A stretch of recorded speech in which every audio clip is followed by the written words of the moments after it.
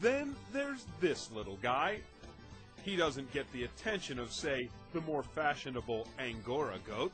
He's a fainting goat, and he's got a different talent. Lisa Johnson breeds goats in Florida. These goats are called myotonic goats. Many people call them fainting goats, wooden leg goats, stiff leg goats, nervous goats, the Tennessee goats, uh, Tennessee meat goats. So they just have all kinds of nicknames for them. They carry the hereditary gene for myotonia congenita. What happens is that when the goat is startled or excited, it causes a very temporary stiffening of the muscles. And when the muscles relax after a few seconds, the goat jumps up and runs on its way. They don't call them fainting goats for nothing. It can even be something as simple as being excited over being fed. The adult animals um, typically um, they keep their balance better, and what they will end up doing is uh, pretty much bracing on four legs.